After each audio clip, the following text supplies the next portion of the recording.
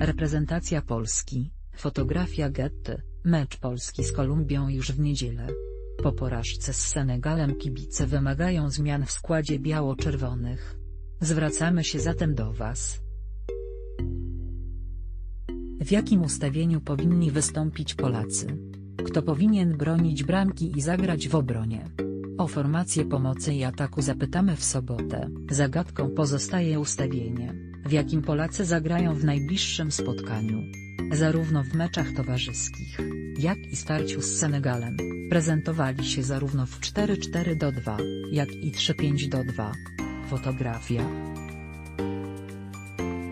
TVP bramkarz przed mundialem, podobnie jak przed Euro 2016 o miejsce w polskiej bramce rywalizowali Wojciech Szczęsny i Łukasz Fabiański.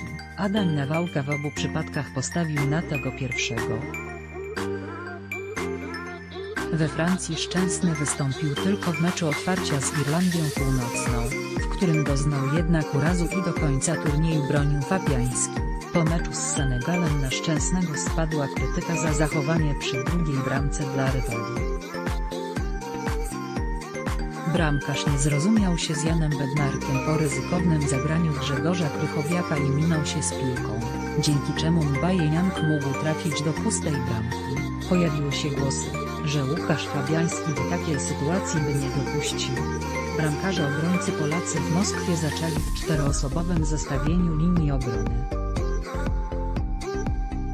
Parę stoperów stworzyli Kiagocionek i Michał Pazdan, po lewej stronie zagrał Maciej Rybus, natomiast po prawej, Łukasz Piszczek. Najniżej zostali ocenieni Cionek i Piszczek, którzy zaginęli przy pierwszym straconym golu. Zawodnik Borussii Dortmund przegrał pojedynek przy linii bocznej, a piłkarz Spal skierował piłkę do własnej bramki. Ich ogólna postawa też nie była najlepsza. W drugiej części gry przeszliśmy na ustawienie z trójką środkowych obrońców za sprawą wejścia Jana Bednarka. Piszczyk i Rybus powędrowali na wahadło. Prowadzony obrońca Southampton źle zachował się przy golu na 0-2. Wciąż żywa pozostaje nadzieja, że do gry powróci generał linii obrony Kamil Bulani, który 4 czerwca doznał urazu barku. Bez niego polska defensywa wyglądała bardzo źle.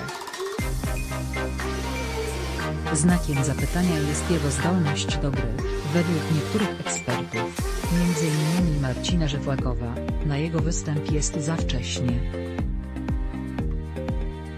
Były reprezentant Polski stwierdził, że nie warto ryzykować jego zdrowiem, tym bardziej, że może się przydać w starciu z Japonią, które nie musi być meczem pożegnalnym. W przypadku środka obrony założyliśmy, że pewniakiem jest Michał Pazdan, który jako jeden z niewielu nie zawiódł w spotkaniu z Senegalem. Przeszłości po obu stronach obrony występowali Bartosz Bereszyński i Artur Jędrzejczyk. Piłkarza Sampdorii zaproponowaliśmy na prawą, a zawodnika Legii na lewą stronę. Drogi użytkowniku, wygląda na to, że używasz dodatku do swojej przeglądarki, który blokuje nasze reklamy. Aby móc oglądać materiał prosimy o jego wyłączenie, dziękujemy. Redakcja Sport TVP Drogi użytkowniku, wygląda na to, że używasz dodatku do swojej przeglądarki, który blokuje nasze reklamy. Aby móc oglądać materiał prosimy o jego wyłączenie. Dziękujemy. Redakcja Sport TVP Drogi użytkowniku, wygląda na to, że używasz dodatku do swojej przeglądarki, który blokuje nasze reklamy. Aby móc oglądać materiał prosimy o jego wyłączenie. Dziękujemy. Redakcja Sport TVP Drogi użytkowniku, wygląda na to, że używasz dodatku do swojej przeglądarki, który blokuje nasze reklamy. Aby móc oglądać materiał prosimy o jego wyłączenie, dziękujemy. Redakcja Sport TVP Drogi użytkowniku, wygląda na to, że używasz dodatku do swojej przeglądarki, który blokuje nasze reklamy. Aby móc oglądać materiał prosimy o jego wyłączenie. Dziękujemy. Redakcja Sport.